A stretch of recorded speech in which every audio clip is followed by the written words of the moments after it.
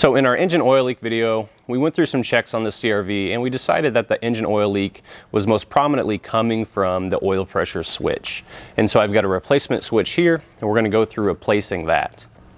First, let's look at this oil pressure switch. This is a pretty standard oil pressure switch. Uh, this one happens to get used on a lot of different vehicles, um, crosses to a lot of different ones, and it's an aftermarket piece. This particular one is a Beck Arnley, but it's got an eighth inch NPT fitting on this side, and so that's a pipe thread fitting. Um, that means that it has a taper to it, and so torque is important with this. It's easy to over tighten these to a point where maybe I break it. The other thing that we want to look at is the electrical connector. And then you can see that there are two parts to this switch. There's the metal body that goes and threads into the engine block, the plastic housing that holds the electrical switch, and inside there, through this hole in the center, there is a diaphragm. That diaphragm helps to keep the oil on the engine side and keep the switch side dry.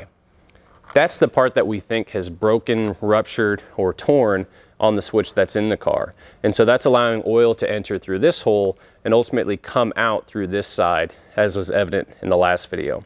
So we're gonna go at replacing this. So when I work with an oil pressure switch like this, I want to be really cautious about the type of socket I put on here. Some of these will not have a hex cut, but will have somewhat of a proprietary shape around this, and those might require a special socket. So it's important to pay attention to that. This one has just got a basic hex, and so I could use a regular socket to fit over this. What I want to be cautious about, once I find the correct size, I just keep trying until I find it. Looks like it's past a 24.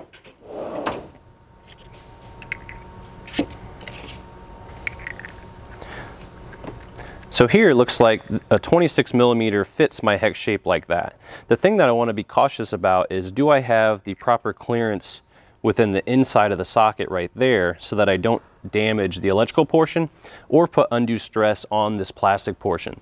That could create a leak just like we're trying to fix.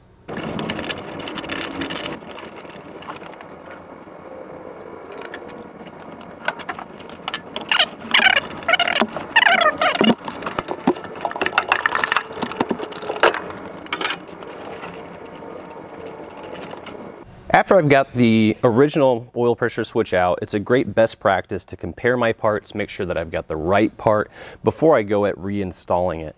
So I initially want to check some of the most important features, one being the electrical connector. I want to make sure that this is going to plug back in to the factory connector.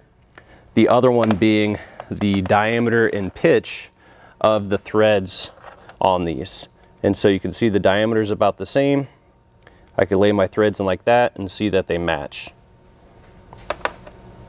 The other thing that I noticed in taking these out is that the diameter of the hex or fastener on this one on the aftermarket is much larger than the stock one, but that shouldn't make any difference. We've got an electrical connection that's the same, and we've got some thread pitches that are the same. We should be good to go. Because this oil pressure switch uses pipe thread, I'm gonna have to use some Teflon tape like this in order to help seal the threads.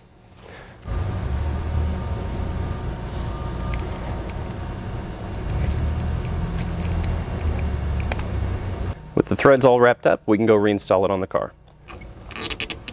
I always want to get these started by hand, make sure they thread in smoothly, and then we'll look at what the torque value is.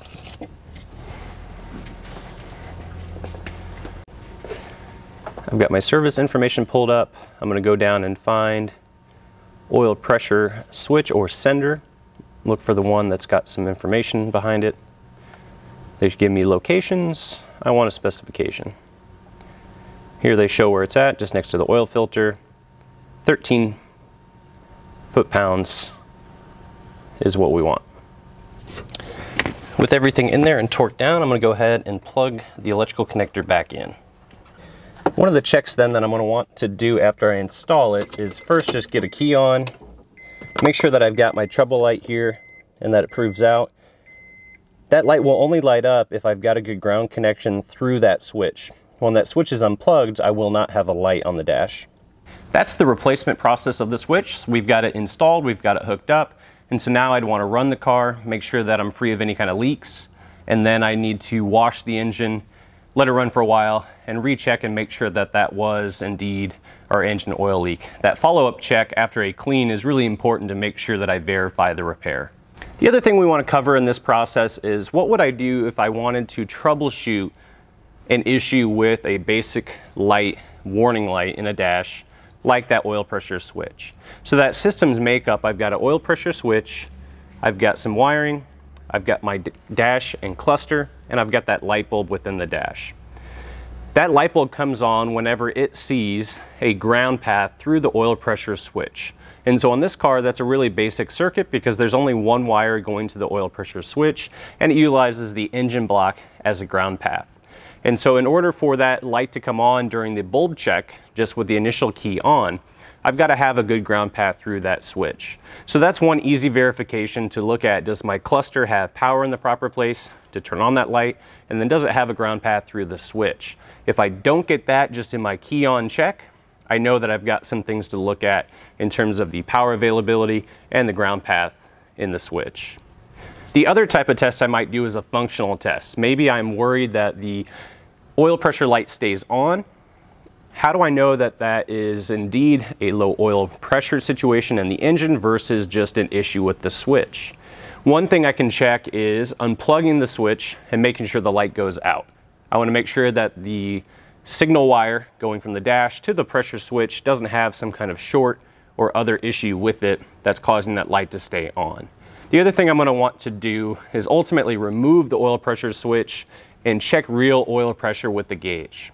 Any low oil pressure concern I've got to look at cautiously because I don't want to run the engine any more than I have to if it indeed has low oil pressure. Those are some of the basic checks and replacement process for an oil pressure switch. In our case, we're hoping it fixes our engine oil leak. I'm going to go on, clean this up, and recheck it. Thanks for watching.